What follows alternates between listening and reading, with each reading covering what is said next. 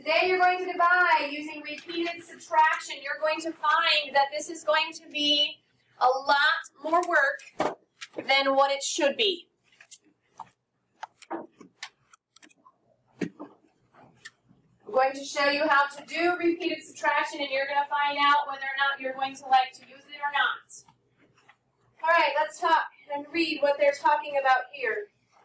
John is building a backyard pizza oven with an arched opening. He has 72 bricks. He will place six bricks at a time as he builds the oven. If he arranges the bricks in piles of six, how many piles will he have? Says you can use repeated subtraction to divide your 72 bricks. Divide by 6. Let's go ahead and highlight your question so you know what you're finding. And we need to put this part with it. If he arranges the bricks in piles of 6, how many piles will he have? We need to make sure we're using piles of 6. The numbers that we're using, they already gave us the 70 to 72 total bricks and piles of 6. Now, we don't have time to count out 72 counters for every single person and start subtracting them. So I want you to think about if I had 72 counters and I subtract off 6, I'm going to get an answer. Then I'm going to subtract off another 6 and I'm going to get an answer. And then I want you to subtract off another 6 and get an answer. I want you to think about how long that's going to take. So we're going to do that for this first problem to show you exactly how long it's going to take us to do the subtract 6 every single time until we get down to 0 left. Okay? So we're going to leave this up here as to how many are left. We'll come back and fill that in here in a little while after we've done this first step. So recording the subtraction on the grid paper is shown.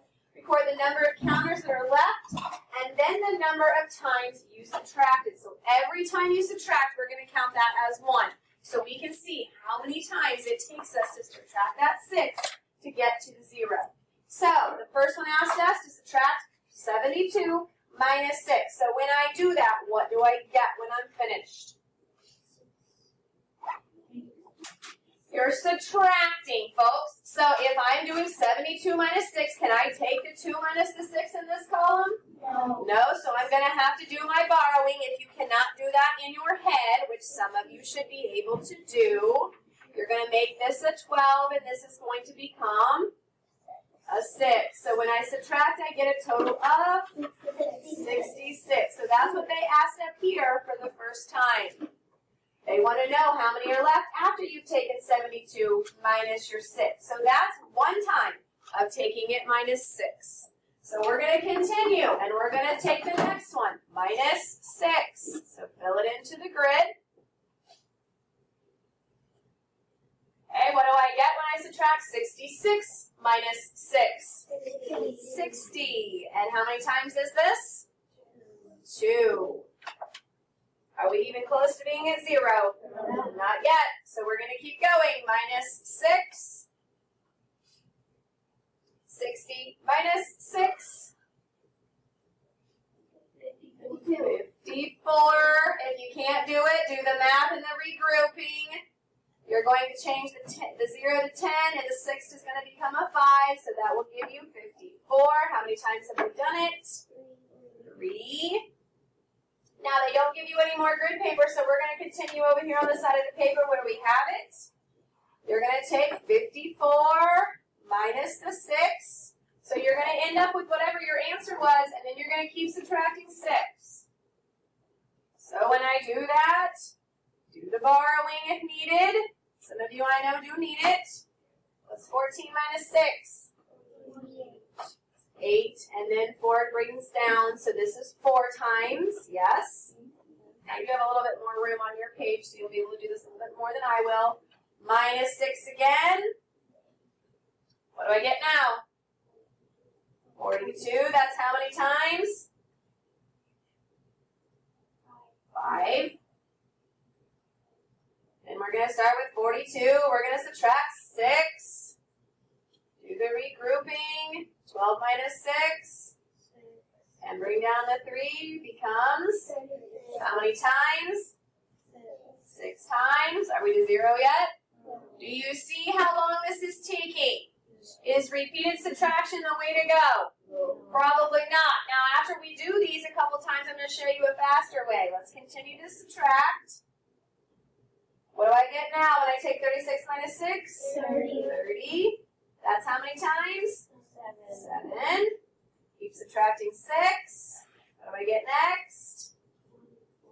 Twenty-four. That's eight times. Twenty-four minus six. See all the room we're having to find too? So twenty-four minus six.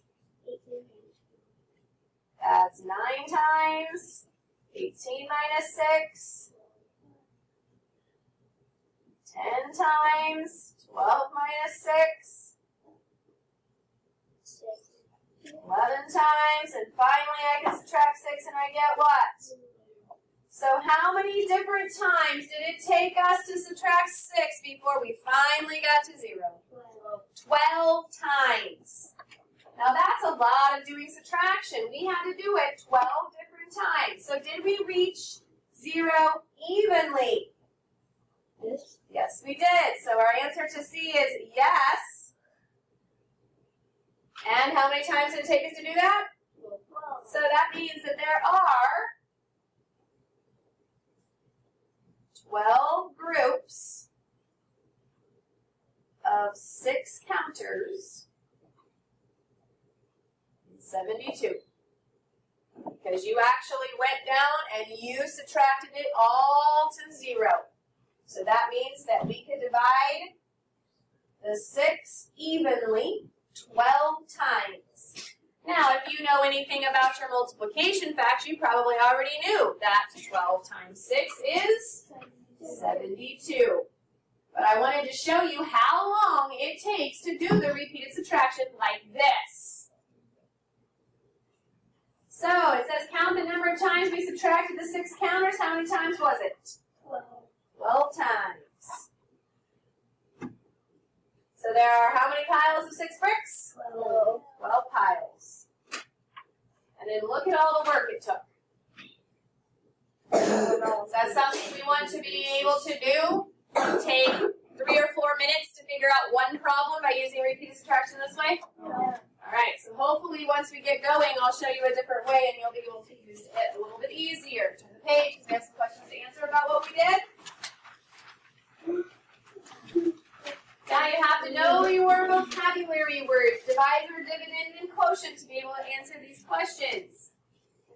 Number one says to explain the relationship between the divisor, the dividend, the quotient, and the number of times that you subtracted the divisor from the dividend. So let's go back and look at the numbers we're discussing. Divisor, dividend, quotient. What's 72? The dividend. 6 is the divisor. And my quotient was 12. That's also the number of times it took us to do the subtraction, correct? So we know what all our numbers are. So it asks you about the relationship between those things. Okay, between the divisor, the dividend, the quotient, and the number of times we subtract it. So talk to your neighbor for a second about what you notice in all of those particular numbers.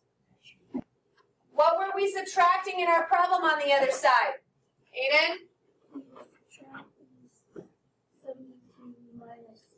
Okay, so what's the six? What one of these words is the six?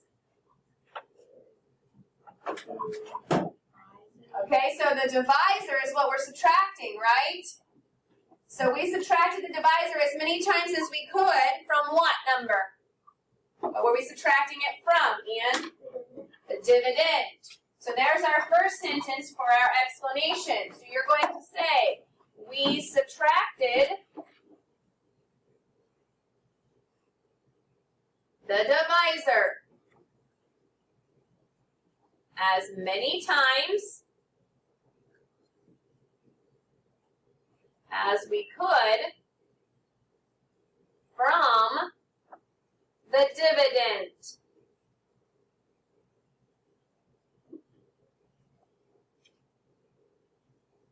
So we're subtracting that 6, which is the divisor, as many times as we could from the dividend, which was 72.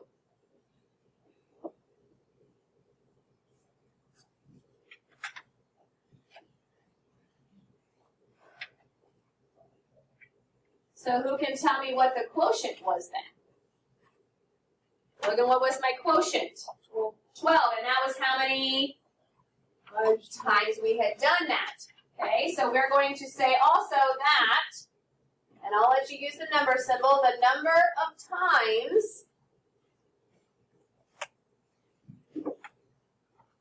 we subtracted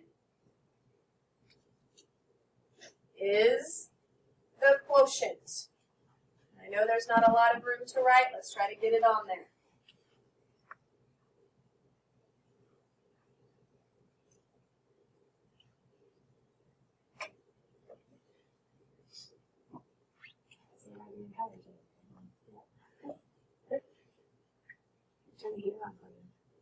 Yeah, it smells okay. Are you serious? All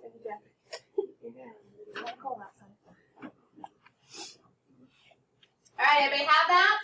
So you have to understand where your divisor and your dividend and your quotient are and how we reached what we got for an answer. Now here is the part that I wanted to talk to you about. Subtracting multiples of 6 rather than doing 6 and 6 and 6 and 6 12 times. This hopefully will be a little bit easier for you. So let's look at the example on the right over here. Hopefully you will be able to catch on to this and you won't have to take so long to do it 12 different times. So it says, what happens if you subtract multiples of 6? Complete the example at the right. So take a look at what they drew. And again, you're seeing this a little bit differently. The 72 divided by the 6 with your division box. Okay? So, they're going to take away 60 right away with multiples of 6. So when you take multiples of 6, they're going to take how many times 6 to get 60? How many times 6 does it take to get 60? 10. So they're going to right away take the multiple of 10. So if you fill in 10 here, you're going to right away take 10 times 6 to take off 60. That's only one thing, right? But that's going to be 10 that you already are dealing with. So you took care of 10 out of the 12 in one step. You with me? Okay, lots easier, huh? A lot faster? Yep. So when I do that, what's 72 minus 60? So 12 goes here, so that means I have 12 left. So then I'm going to think of another multiple of 6 that's going to easily get me to 12. So what number times 6 gets me to 12, Kenzie? 6 times 2. So you're going to put the 2 in here. Okay. The 6 times the 2 was the 12 that they have written. Does everybody see that? And that means we're going to add another 2 times that it took. So we took 10 and we took 2. What's 12 minus 12? 0. Now how many total times did it take us? 12, but only in how many steps? 2. So we did 12 steps on the front with repeated subtraction that way, and we only had to do 2 steps when we're using multiples of the number. See how much faster it is? So I don't know about you, but which way would I rather use? This one right here. Go ahead and take care of the multiples of 6 as quickly as you can get there. That way it's not as many steps. Okay, so it says what multiples of 6 did you use and how did you use them? So we need to think about what did we use first? What was the easiest? Taking a look, what did we use first? Or what should say, what did they use first? Because they gave it to you. What multiples did they use, Cheyenne? So they use 6 times 10. So you're going to tell me um, 6 times 10, and that gave you 60. Then what did they use? What was the second one they used? You can see them here. Maurice. So then they took 6 times 2 was 12.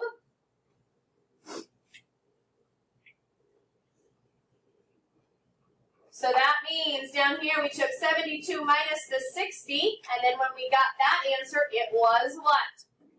12. And then we took the 12 minus the 12 to get our